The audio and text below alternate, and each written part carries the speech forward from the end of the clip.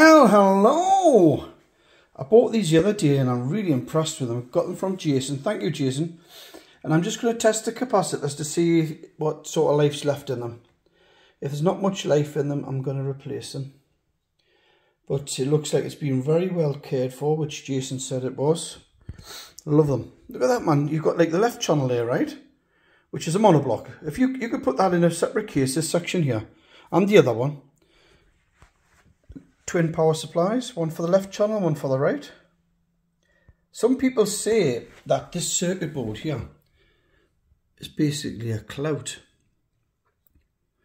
And some people prefer this over the Klout for sound quality. And maybe you probably get some who prefer the Klout. but look at this. The power supply for me this was bound to be vastly superior because one of these would be in a Klout to fit in there, just one.